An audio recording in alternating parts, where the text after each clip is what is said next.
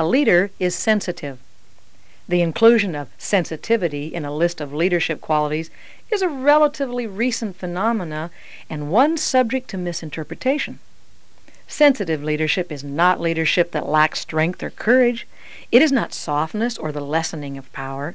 A sensitive leader has a heightened awareness of issues, values, and people in our changing society. Sensitive leaders focus on the daily world in which they operate, particularly on the people they lead. Sensitivity doesn't detract from the leadership qualities we have always valued, it adds to them. Sensitivity leads to the wise use of power.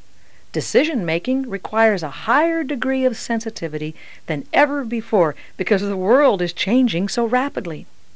Risk taking requires sensitivity to a much wider range of concerns than leaders of the past have had to face. Whether you are trying to make a difference in the private sector, public sector, or the volunteer realm, you must be sensitive to the broad areas such as economic policy, government regulations, quality of products, excellence of service, and future trends, just to name a few. These are important, but of equal importance are the people you're trying to lead. Sensitivity to their needs is crucial to your leadership effectiveness because without responsive, productive people, the other considerations quickly become secondary.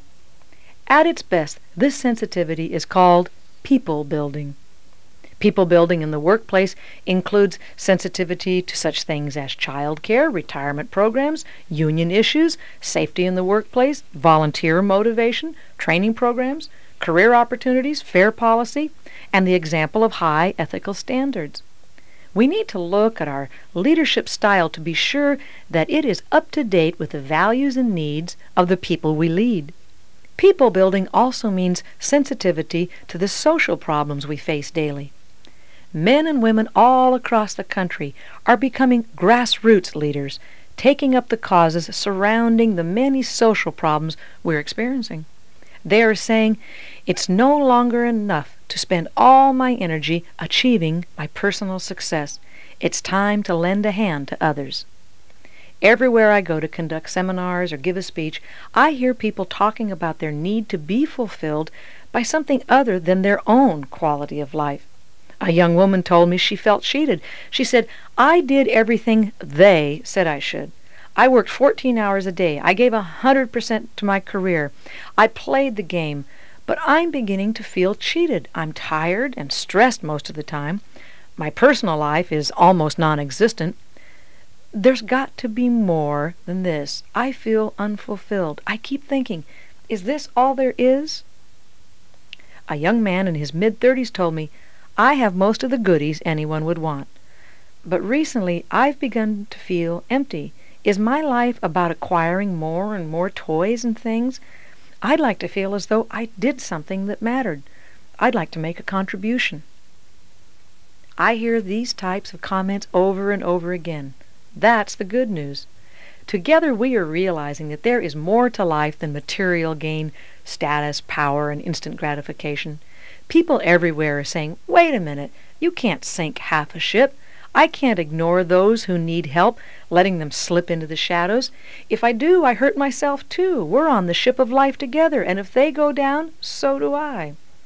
You may say, but isn't that just another form of meism, people helping others just to save themselves? The answer is yes. There is a degree of meism in the awakening, but it doesn't matter how it happens. When people start to help others, when they have the courage to look beyond the surface, when they become sensitive to the pain and suffering of their fellow citizens, they change. They begin to make a difference. It's not easy to take a hard look at ourselves and admit that we have not done our share. Once your sensitivity is heightened, it can be overwhelming.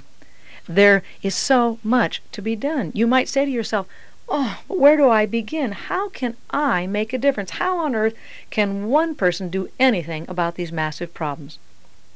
Well, I want to tell you that you matter and you can make a difference. You can allow your innate sensitivity to deepen your caring about people and issues right in your community. You do not have to feel helpless or overwhelmed by the immensity of the problems.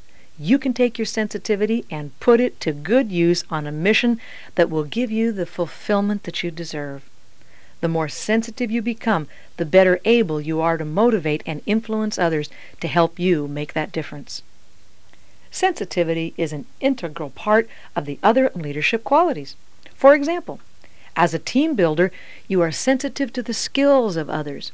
You match the right people with the right job allowing them to grow and learn in an area that is interesting to them. If you set an example of risk taking, followers gain confidence in their own ability to be innovative and creative. By addressing the expanding needs of followers and encouraging their personal renewal, you make a difference by revitalizing your organization and society. Robert K. Greenleaf, author of The Servant as Leader, wrote some institutions achieve distinction for a short time by the intelligent use of people. An institution that has firmly established the context of people first moves from people using to people building. That means sensitivity to the factors that influence the leader, the followers, and the external environment in which they operate. In the introduction to these tapes, I referred to the difference between management and leadership let's look at some of the basic management skills and see how they have evolved into leadership skills for renewal and people building. Management skill, directing, has become leadership skill, supporting. Creative thinking, to inspiring creativity. Decision making, to delegating. Listening skills, to ensuring understanding Constructive criticism has become enhancing others. Problem solving to resolving conflict. Implementing technology to humanizing technology. Each of these leadership skills enables you to help people invest in themselves and discover their own best, both personally and professionally. These same skills move you away from doing things to people and towards doing things with people. These skills are important when your organization changes and grows. These changes are referred to as cycles, described by Bernard M. Bass. Effective firms in a rapidly changing, complex environment are generally more participative or consultative, involving lower level managers in department decisions. Effective firms in relatively stable environments generally concentrate decision making and influence at the top levels of management. As a modern leader, you'll add to the renewal process if you remain sensitive to change. You can't fall into a comfort zone either taking the stable or changing environment for granted. The world is in such flux that in a very short period of time you can cycle back and forth between rapidly changing environments and stable ones. Being flexible is your key for surviving. Bass reminds us that all the processes of leading include the understanding that group members are people with human concerns and reactions. Your sensitivity to the power of a positive mental attitude, it's what we call good old PMA, can never be overvalued. Your cheerfulness helps people defeat cynicism, fear, futility, and despair. PMA can inspire a shared vision and help you enlist others to make a difference. It can calm turmoil, confusion, and chaos. Your ability to uplift people's spirits when they feel overburdened or negative is one of the most powerful motivational tools you can possess. Your attitude sets the example that helps your people motivate themselves, and PMA is very contagious. Others can catch it and use it to make a difference in their own lives. Do you know someone who seems to have certain skills, but their self esteem is so low it keeps them from maximizing those skills? Consider this old axiom Tell a person they are a winner long enough, and they will start acting like one. Louisville, Kentucky patrolman Joe Martin collected coins from parking meters during the day. In his private time, he was director of boxing for the Louisville Recreation Department. He wanted to help the young boys of Louisville increase their image and learn to be good boxers. One night, an 89 pound, 12 year old black boy came to the gym in tears. He was so angry he could hardly speak. Joe asked him what was wrong, and the boy told him that someone had stolen his new bicycle. He said he wanted to whip somebody. Joe asked him, Do you know how to fight? And the boy said, No, but I'd fight him anyway. And that was the beginning. He would come to the gym and work his heart out. Joe saw his talent and soon began saying, You're the greatest, you're the greatest. The boy wanted to live up to Joe's expectations. He put his heart into being a boxer. He liked being the greatest. He reveled in working his young body into peak fighting shape. He began believing that he was the greatest. They were together for 106 fights. Their crowning glory was the Olympics. Cassius Clay was indeed the greatest. Now, as Muhammad Ali, if you ask him about his boxing, he will still say, I'm the greatest. Everyone wants a cheerleader, someone to believe in them, to help them have a can do attitude. What can you do to let others know you believe they can be a winner? In what way can you be sensitive to their low self esteem? How can you help them tap their potential as Joe Martin did for the young Cassius Clay? At the same time, you can't be naive about PMA. Not everyone wants to have a positive, happy life. There are some people who enjoy being negative. They have so much invested in this view of the world that your PMA will never make a dent in their attitude. If you have such a person in your organization, try to keep them in jobs where their bad attitude doesn't affect too many other people. And never, never put these people in contact with those you are trying to serve. It's an absolute sure way to destroy your organization. Most people want to be happy, so ignore the few exceptions and concentrate on the positive. Let's look at the difference between behavior and attitude. Behavior is what we say and do. Attitude is what we feel or believe. Behavior is what first evokes a response in others, but behaviors come from attitudes. So, as a leader, it's important to work on your own attitudes first. When you clarify how you feel, it will show in your behavior. Having a PMA doesn't mean you ignore realities and difficulties. It simply means that you try to find the opportunity in problems. You have an optimistic view when others see only the negative. PMA won't get you everything, says my friend Zig Ziglar, the motivational speaker, but it makes everything you've got a whole lot better. Analyze your positive mental attitude and have the courage to ask, What example am I setting? What difference am I making? Edith Wharton wrote, There are two ways of spreading light to be a candle or the mirror that reflects it. Your positive attitude is both the candle and the mirror.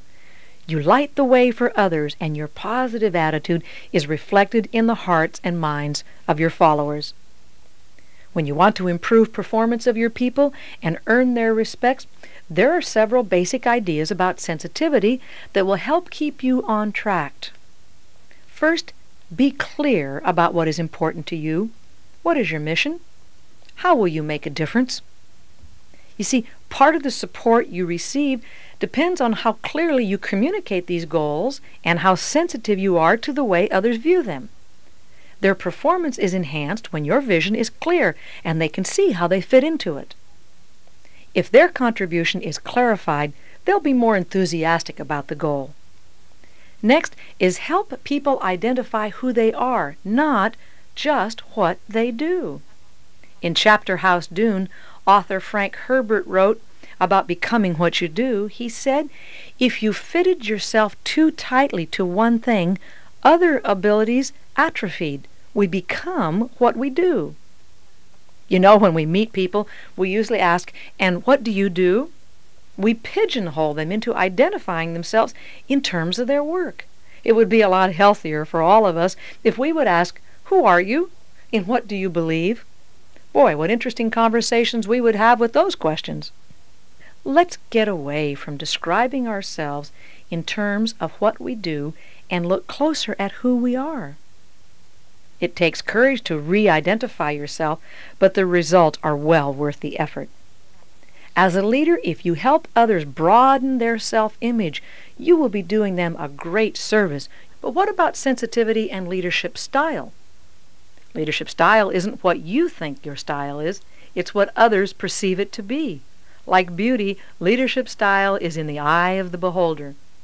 You may see yourself as having a particular style, and you may be right. But if you are sensitive, you'll compare your own perception with that of your followers. When I discussed leadership sensitivity with Bill Weiss, he said sensitivity was very important because different situations require different kinds of leaders.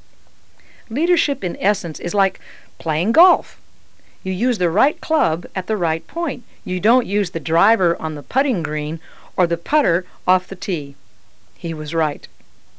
President Eisenhower used to say that he could demonstrate leadership style with a piece of string. He'd lay the string on a table and say, Pull it, and it will follow you wherever you wish. Push it, and it will go nowhere at all. It's that way when it comes to leading people. While few of us will be leaders on as high a level as Eisenhower, it's important that we too realize our leadership style is felt in the heart as well as the intellect of our followers. If you want loyal followers, you must be very careful that your style of leading reflects the sensitivity necessary to earn that loyalty. Joe Larson was owner and president of the Sparta Brush Company for 30 years. Located in Sparta, Wisconsin, the company had built the reputation as a top manufacturer in the relatively narrow business market of brushes used in restaurants, dairies, janitorial work, and home use. Sparta Brush had an excellent reputation for employee loyalty and pride. Joe Larson's leadership style exemplified sensitivity to the needs and values of his employees. He understood that his people wanted to be proud of the product they produced. They wanted a sense of belonging to a team. Sparta employees knew that their brushes had the highest credibility in the industry and that Joe offered them a place to build a career and a life. We were reaching together for a common goal, says Joe. The magic of relationships is what makes a company work. November 1979 began a series of tragedies that would have crippled a company with less loyal and dedicated employees. That month, Joe's wife of 40 years, Esther, died suddenly. Joe had just begun to recover from the shock when six months later his son Jack executive vice president of manufacturing, suffered a heart attack and was told he could only work two to three hours a day. But Joe and his team of loyal employees kept right on going, pulling together to pick up the extra work Jack couldn't do. Without warning, a third tragic blow came several weeks later on the Fourth of July weekend. Joe was at home enjoying the holiday when he received a phone call from the police telling him that his factory was on fire. Joe raced to the scene, but by the time he got there, Sparta Brush lay in ashes. A lifetime of work and dreams was gone in a matter of minutes. The cumulative effect of those six months would be enough to stop almost anyone. But Joe Larson is a man of great faith, and he often recalls what he described as the miracle. By 8 o'clock the next morning, his 50 employees were arriving at the Sparta plant with brooms, shovels, and pickup trucks. They said, Well, we'll start again. Let's get to work. No one complained, said Joe. They pitched in and began to dig. We were able to save a few pieces of machinery. They scraped and cleaned and worked like the devil. That very day we were able to piece together some desks and chairs and we moved into a vacant auto dealership. We worked as a team to call all of our suppliers and customers. In one week, we had temporary production, and in four months, we rebuilt the factory, adding 10,000 square feet. Joe is also proud of the customers who stood by him in those hard times. And you know, he said, we never lost one customer in those four months. One of Joe's favorite sayings is, It's not what happens that matters, but how you respond. Joe Larson is one of the most respected people in his industry. As a leader, his style demonstrated sensitivity to his people, his employees, his customers, and suppliers alike. When the need was there, they returned his lesson of leadership by showing their sensitivity to him. His message of excellence, integrity, and true sense of service made the difference between success and failure when the going got tough. His sensitivity to his people was returned to him a thousandfold. Shakespeare wrote in Henry V, For now sits expectation in the air. Everyone within your organization has certain expectations. It is critical that you know what they are, or you'll be leading blind. If you are sensitive to the expectations of your followers, it increases your ability to motivate and influence them. It increases your ability to make a difference. The four major expectations that people have are this 1. Income. How much can I expect to earn now and in the future? 2. Advancement. How far can I expect to go within this organization? 3. Education. How much education should I expect to acquire or will I receive while with this organization? Last is relationship expectations. These concern the give and take between the worker and the leader, managers or supervisors. People want harmonious working situations. They expect the leader to create and maintain relationships that foster these situations. They expect certain things from the team in which they function. They have expectations about relationships with other teams and other organizations. And they want to know what are the rules and the leader's expectations of the team relationships. A clear cut mission or purpose statement about what the organization believes will help to satisfy relationship expectations. When you set policy or make decisions, it's important to be sensitive to these four expectations. Author Simone Weil wrote about expectations. At the bottom of the heart of every human being, from earliest infancy until the tomb, there is something that goes on indomitably expecting. It is this above all that is sacred in every human being. The sensitive leader has a sacred responsibility to help followers define expectations. Today, people expect to achieve, so as a leader, you must use your sensitivity to keep these expectations in perspective. At the same time, the leader must look at expectations from the opposite side of the coin. Drop your expectations, discard preconceived ideas, and unlearn what you know. Don't limit your horizons. Lao Tzu, ancient Chinese philosopher, wrote in the Tao of Power Without expectations, one will always perceive the subtlety, and with expectation, one will always perceive the boundary. There is a saying that we can never exceed our own expectations. The sensitive leader needs to be able to do two things to deal with people's expectations and at the same time to see beyond those expectations. To serve your people, you must resist self deception about what's going on, good or bad, and must not confuse individual personal character with human nature guts with courage, success with integrity, or winning with happiness. Continually re examine your perceptions with sensitivity and courage. Leaders with highly developed sensitivity are aware of the forces that affect them, their people, and the environment. They have the skill to adjust their style to fit the situation. They are not overburdened by expectations or other people's perceptions, but use their sensitivity as a positive tool to build people and to tap into the wealth of human spirit. Don't be afraid to use sensitivity as a leadership tool. The more sensitive you become, the broader your perceptions will become. The broader your perceptions, the wider the range of possibilities you'll see. And the more possibilities you see, the more you will be able to serve and make a difference.